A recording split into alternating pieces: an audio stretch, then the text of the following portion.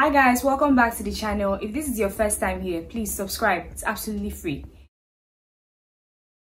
In today's video, I'm going to teach you guys how to make an over bust corset. Now this over bust corset kind of looks like a Victorian corset. The only difference is that you don't cut out the different panels as you would if you were making a Victorian corset. Now this over bust corset also has a basque waistline. I'm going to show you guys how to do that. I'm also going to show you how to join this basque waistline over bust corset to your skirt pattern to make it a dress. So if you want to see how I do all of this, then definitely keep on watching. Oh, hey, I didn't see you there. so I'm starting off with um, an already made off-shoulder Princess dart bustier. You can use a regular um, full shoulder Princess dart bustier if you want. But what you want to do is you want to mark the lines where you're going to um, sew your bonings on. So that's what I'm doing now. I had already marked it on the right side, that's the lines I wanted to sew my bonings on, but now I just went ahead to replicate those lines on the wrong side. Now you want to use this Regiline boning, not the plastic boning. Now the plastic boning, you cannot sew on top of it. If you try to sew on top the plastic boning, your needle is going to break, that's for sure. But you can actually sew on this Regiline boning, so I advise you guys to use this one. Alternatively, you can actually use the plastic boning, but bonings but you need to make your boning casing and then insert the bonings the plastic bonings into the boning casing. So you can actually do that.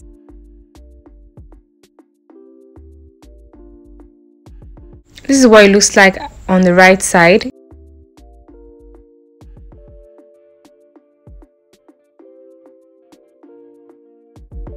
Now when you're sewing on that curve of the breast, you have to make sure that the first line of, on the boning you sew is directly on that line. That's that line that connects the center front with the side front. I hope that makes sense. So that seam line you have, you want to sew the boning on that line, exactly on that line, so that you don't have like two lines in the same place. So try to make sure that the line where you sew the boning is directly on the same line. Now once you have that done the other side of the boning should be on the center front and not on the side front. I hope that makes sense guys. So sew your boning in such a way that the boning is on the center front okay? So it's on the same line and on the center front. So do that for all the lines that you've marked.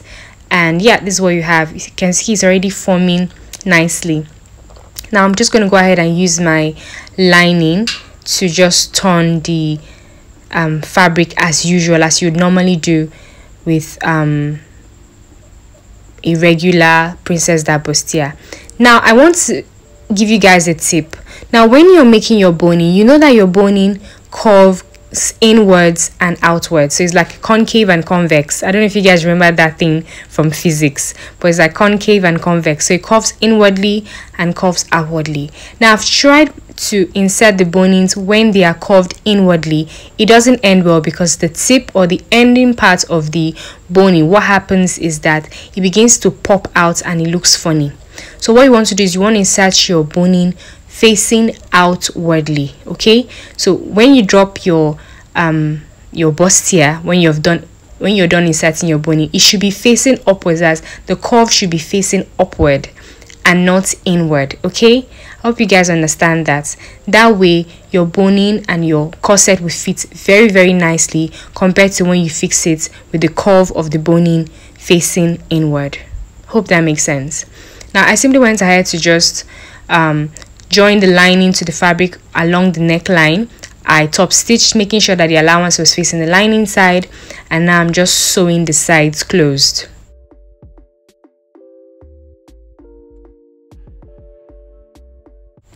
And now I'm just going to go ahead and just turn this to the right side and this is what we have basically. I'm just going to go ahead and just close that bottom part so that the lining and the fabric are just it remains one piece okay?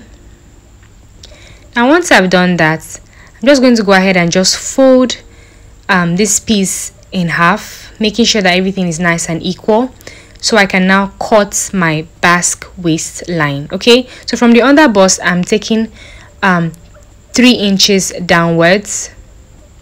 First of all i'm marking that under bust line and then i'm taking two and a half inches rather. I'm taking two and a half inches downwards. And from that point i'm just drawing a diagonal line all the way to the hem of the bustier. Now i'm just going to go ahead and just cut along that diagonal line.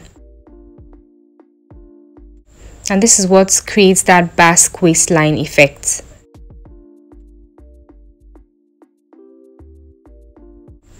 now I'm just going to go ahead and just sew those two pieces again together just like I did earlier.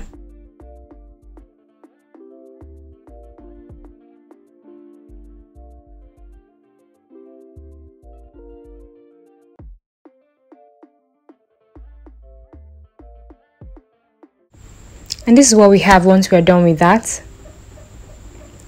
Now taking the skirt part of um, my dress I'm just folding the skirt part in half so I can just notch that center point. Now I'm just placing the bustier on top of the skirt. Now I'm making sure that the center point of the bustier aligns with the center point of the skirt.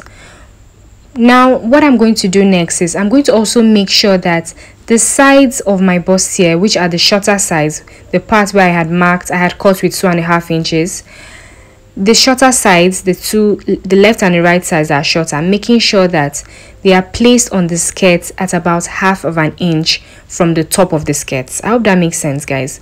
So the sides so the left side like where i'm at right now the left side and the right side those shorter sides are placed on the skirts from half an inch from the top okay? So once i have that i'm just marking that outline of my basque waistline.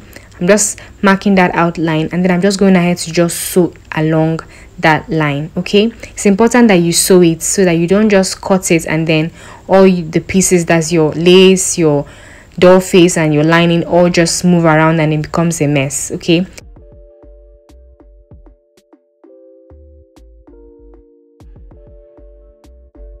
I'm going ahead to just cut it with half of an inch just above that seam um, line. Now placing the center point on the center point of the skirt. So the center point of the basque waistline is placed on the center point of the skirt. I'm just going ahead to just sew them together.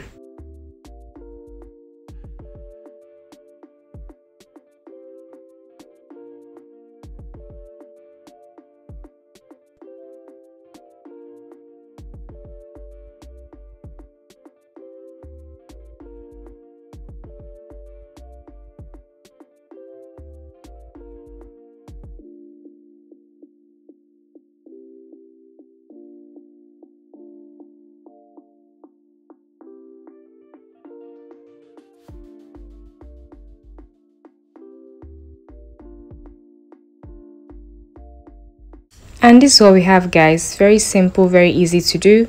How to make an overbust corset and how to um, um, you know create that basque waistline and how to also join your basque waistline corset to your skirt pattern. And yeah this is what it looks like guys. This is how the dress turned out. My client absolutely loved it Thank you guys so much for watching. I'll see you guys in my next video.